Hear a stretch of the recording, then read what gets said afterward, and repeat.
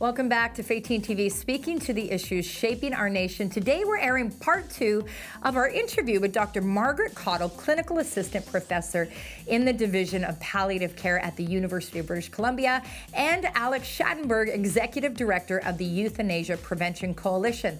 We're talking about the issue of medical assistance in dying in Canada. This is part two of our conversation. Without any further delay, let's get to it.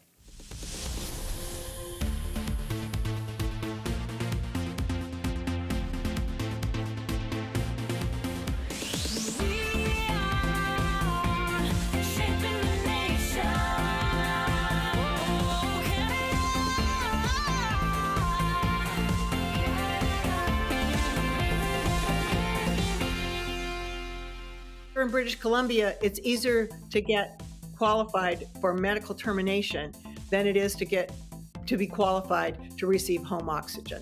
That's how bad this is. When you ask them the question about this, why are they actually wanting this? Why do they actually want to die? They always come down with the same response. They feel their life lacks meaning, purpose or value. They feel there's no one in their life who cares. And, and it has a lot to do with the fact that as a human being, sometimes we need to have people, a significant community around us who cares about us when we are going through that difficult time.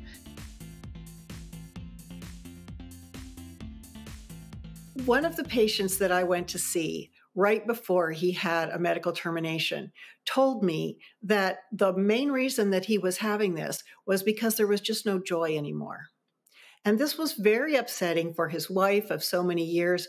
But it was one of these things where, well, if that's what he wants, he had no symptoms that were uncontrolled. It was all about control in his own life. And he'd been a very successful businessman. And I just thought so much about how this had impoverished us as a society and had impoverished his family here he was, this man who had given so much to his family, and he never had the chance to experience the love that they could give to him when maybe he needed some help at the end of his life. And he never gave the opportunity to his family to help him. Maybe they could say, well, dad was so independent and he did all these things for us. But at the end of his life, I could read to him. I could be with him. I could be there. And there's, there's something that's so healing and so wonderful about being there with each other and allowing ourselves to be cared for that this family never experienced. And when they didn't experience that, it impoverishes all of us. This idea that somehow this decision to have a medical termination is just an individual decision is simply false. It affects every single one of us when that happens. Another story that I wanted to relate was I had a call about two years ago from a friend of mine who said that a friend of hers had called her and said, "You know, I'm I'm really thinking about having MAID, but I think you're maybe opposed to it, and I want to know why you would be. And so my friend called me and she said, What do I say to this person? And she told me the medical history that this individual had. And it was pretty horrendous. And I could understand why she would be asking for that. It was pretty awful. And so we went through a lot of things. And I said to my friend, Is this lady a grandmother? And she said, Yes. And that's part of the reason she wants this because she doesn't want her grandchildren to see her suffering like this. And I said, Well, talk to her about what kind of a legacy she's leaving for those grandchildren. If it was okay for grandma to just check out and have somebody take her life when things got hard, what does that say to the 16 year old or the 22 year old who hits a really rough place? That if it was okay for grandma, maybe it's okay for me to check out as well. And interestingly, of all the other things that we said about society and everything else, that was the thing that hit home to her. And she was able to get some extra medical care. She got better. She decided she was going to take a trip, which she did. And my friend wrote to me this spring uh, saying, I thought you would like to know an update.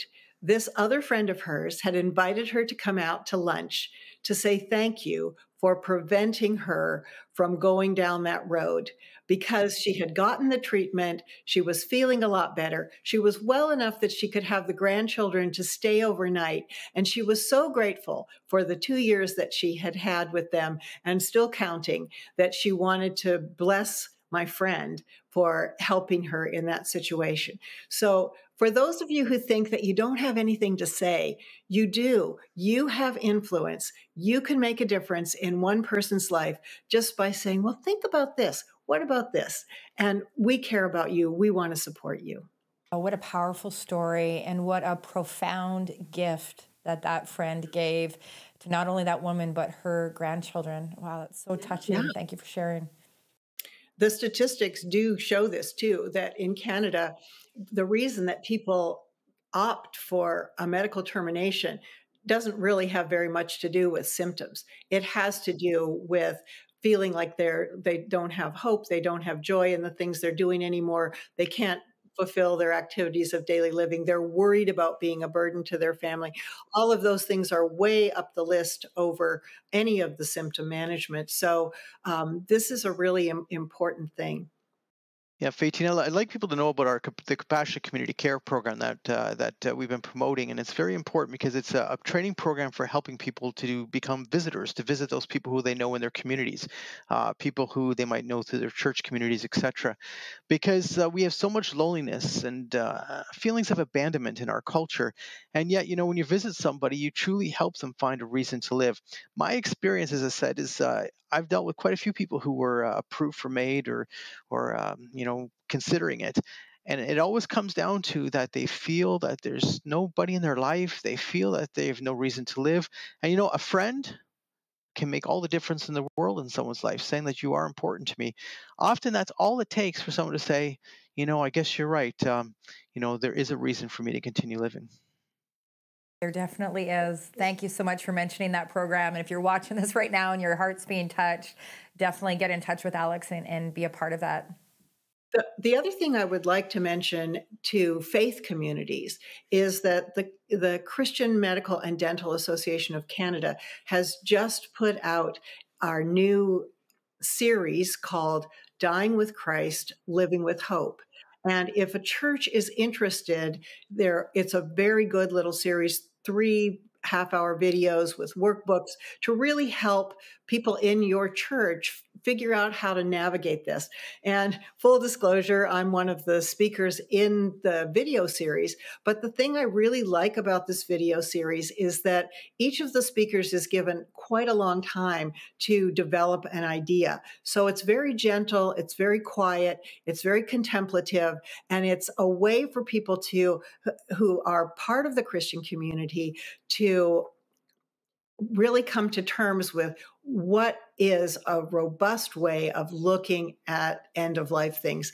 I think we need to bring back a little bit of what the Victorians and others did with the ars moriendi, like the art of dying, and how instead of this being a taboo subject, how do we make this into something we talk about more so that it isn't so fearful and people don't somehow feel like the only way to die with dignity is by lethal injection. It's not. Uh, you matter. Wow. Thank you so much for sharing about that. That's such an important point.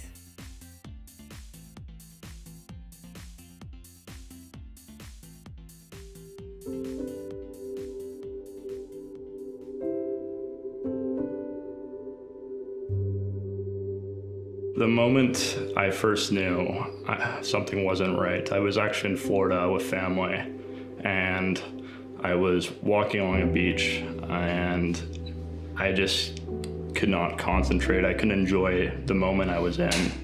It was like a wave of darkness just hit me, and at that point, I knew something something wasn't right. I wasn't appreciating my life. I wasn't appreciating the moment in time where I was. And it just goes to show you that no matter where you are, uh, you can be in a sunny, beautiful place like Florida and still have those struggles raining down on you. I was formally diagnosed with uh, major depressive disorder and generalized anxiety disorder at, at 16. I was doing fairly good for a period of time. However, depression can still come back to get you. At its worst, it is just a wave of darkness. It feels like you're in a, a tunnel and you're, there's no light um, and you're trapped. You go to work and that is the maximum energy uh, you have for the day, and at the end of it, you lay in bed, you don't see friends, you often disassociate with uh, with close family, and uh, it's it's one of the worst experiences anyone could ever possibly feel. I was just finishing up work. I had thoughts in my mind that my family didn't care about me. Uh, I wasn't good at my job. I was useless. I wasn't contributing to society. And I got home and I had this wave of darkness go over me. I tried to take my life. My friend found me along with his girlfriend and took me to the hospital where I was admitted for 12 hours. Um, they did blood work, a few tests. They had uh, a psych nurse come in, ask me a few questions. Um, but at, the end of the day, I was uh, I was sent out 12 hours later. I was given the number of a mental health transition team from the hospital and offered a bus pass on my way out. I didn't get prescribed any medication. I was told if I wanted a psychiatrist, it would be a six month wait. So there, there was no really solid follow up.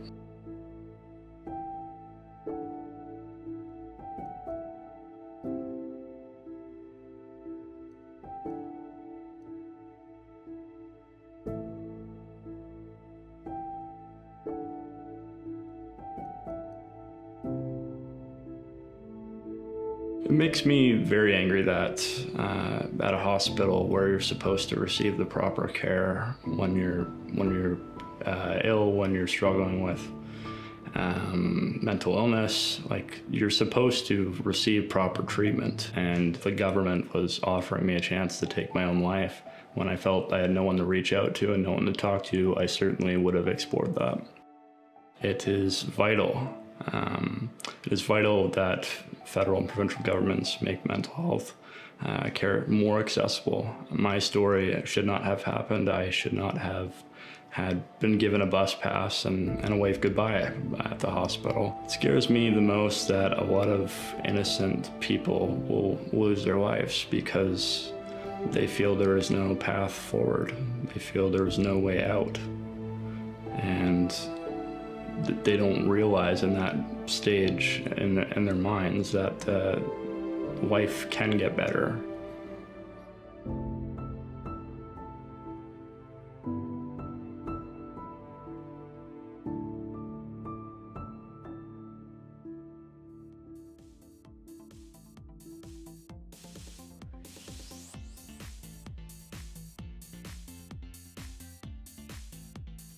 we can have a much more compassionate society if we have this inter interrelationship interaction between the generations and that we focus on caring for one another rather than just figuring out how to kill each other. We believe in giving back and doing all that we can do to build a better future. What that means is that when you partner with Faytene TV, you are partnering with so much more than an issues commentary show. You are partnering with a team that is constantly pouring out to serve Canadians and pray for them and their loved ones through special TV programming and our phone lines as well. You are partnering with at risk youth through the children that we sponsor every single month and programs we actively partner with, like like the World Embrace Champions Center and Children's Park in Gulu, Uganda. You are partnering with national prayer events where we gather believers from sea to sea in united prayer for Canada. You're partnering with the Life Room, which has already mobilized thousands of hours of prayer for the unborn in our nation, and with the Justice Wall, which mobilizes prayer for issues such as human trafficking, youth suicide, conscience and faith freedom, and for good government in Canada.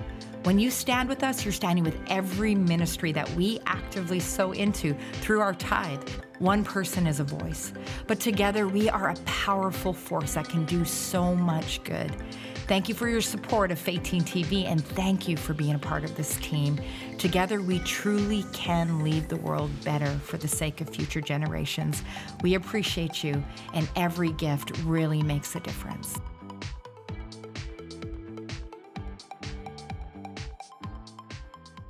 Now, Quebec just recently passed a bill to expand their practice of euthanasia in Quebec. And one of those things they had in there is it said that all palliative care institutions must offer euthanasia. It doesn't say that, you know, it, no, they must offer it. So we're not even talking about now these palliative care, care, institutions that are being told, well, you're going to have to do a referral because these people want this and they have a legal right to it. No, they must provide it. On top of it, then there's a lot of physicians within that palliative care, those palliative care institutions who have said, no, I'm not participating in that. And yet now they're being forced in some way then to comply with it, even though they don't believe it's in any way uh, correct to kill their patients. They're being forced in some way to comply to it. In British Columbia, as you know, the Delta Hospice Society in 2021 was defunded. Uh, the, their uh, building was expropriated. Why? Because they refused to do it. They refused to do euthanasia. It wasn't that they refused to provide good care; they provided good care. That wasn't they. That was wasn't the issue at all. They refused to kill their patients, and it wasn't that there wasn't availability of this. Because that's the next thing they're going to say to you, and they're going to say, "Well, you know." Margaret, Faytene, they're going to say, well, you know, it's legal, so we have to make sure people have an opportunity to have their legal options, right? But the fact of it is, is they already have MAID teams in all of our major hospitals in Canada. These teams that go around and make sure that if you're in the hospital and you have a significant medical condition, that you know that MAID is an option, that they're willing to fulfill that for you. So it's not like they don't make this available. It's not like they're not promoting it. They're promoting it right, left, and center. I'll tell you a quick story. I got a call from one of my supporters in in uh, British Columbia and she was all upset because her husband was in palliative care. He was nearing death. And she said, You know, there was this one doctor that came in and asked him five times. She said, How do you get this person to stop asking us if we want MAID? Because we've obviously said no. We said no, and we said no, and we said no. And they keep asking, Do you want MAID? And it's insane because, of course, you have to think about, about this again. Yes, this is someone who clearly didn't want it. So, yes, they continue to say no. But as human beings, a lot of us go through a lot of emotional issues as we're approaching death. Um, this is normal for us to go through this and then you've got somebody who's trying to sell this to you constantly and you're thinking that some people aren't going to somehow say well maybe that is the right thing for me and that's exactly yeah. what's going on your, your, your, worst day should not be your last day Absolutely. and the, the other piece to this is that they have forced this on just about every palliative care unit in the country. The only places that have been able to hold out are the faith based ones. And there's a concerted effort to try to force them to accept this.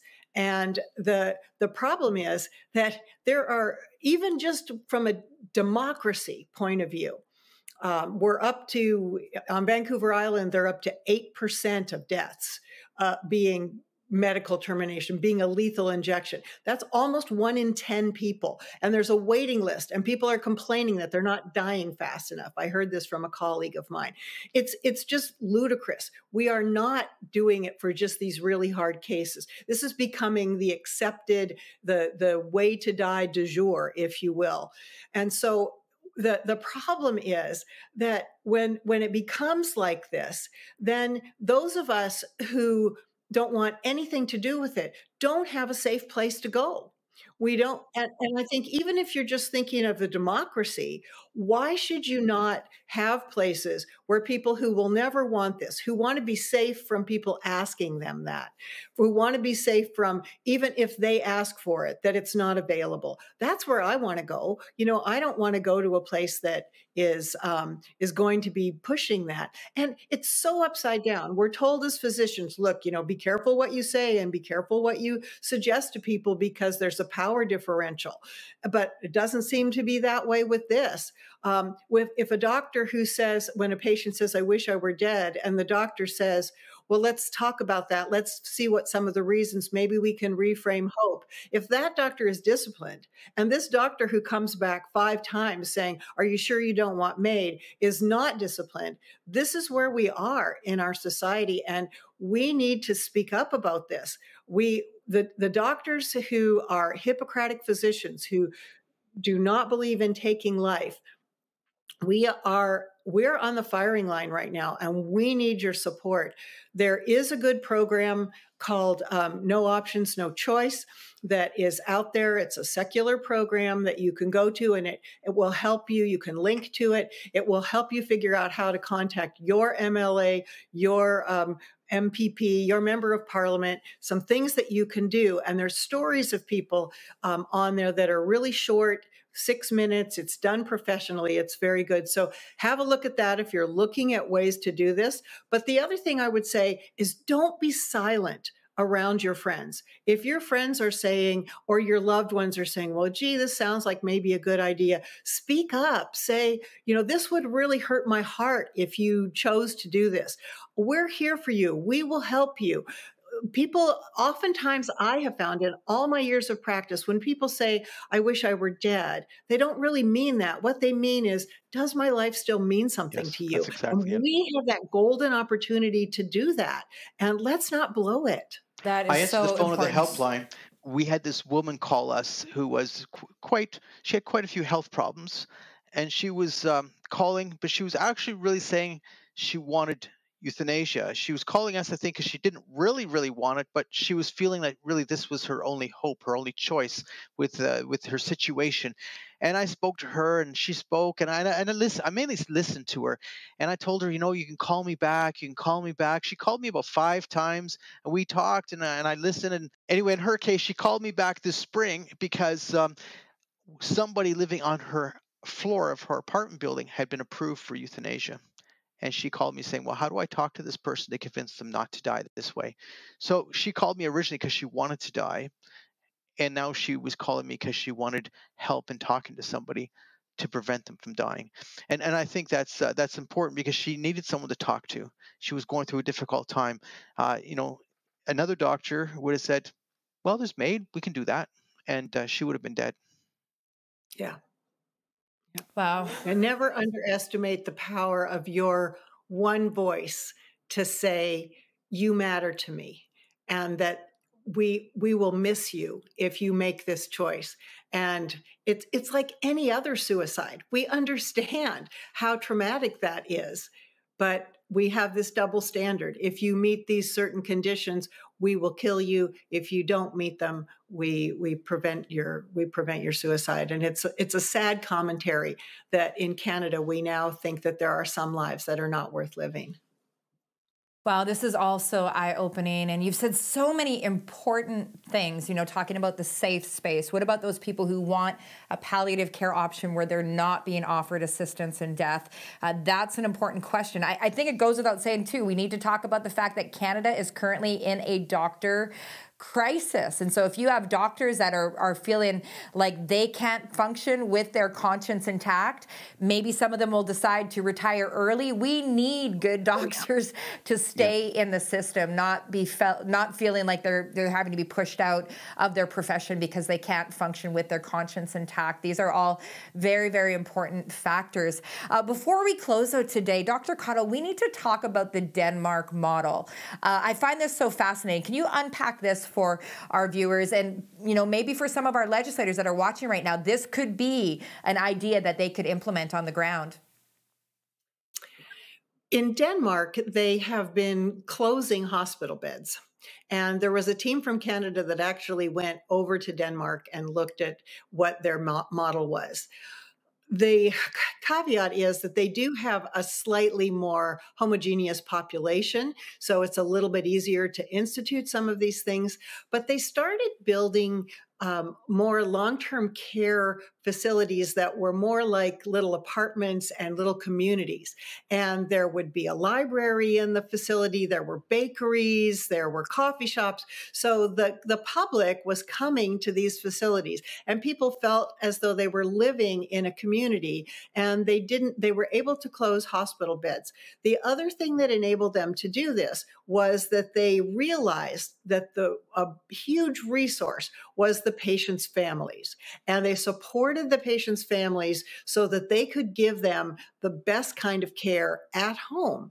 And so we need to think about some of these solutions. And there, there are even some other solutions, other places where young people who need a place to stay. There's a group of music students that live in a long term care facility, and nobody cares if they practice all the time next door. And they come and they give concerts and they eat with the residents, and everybody benefits with that with the intergenerational uh, things that happen there with the the relationships that happen between the generations.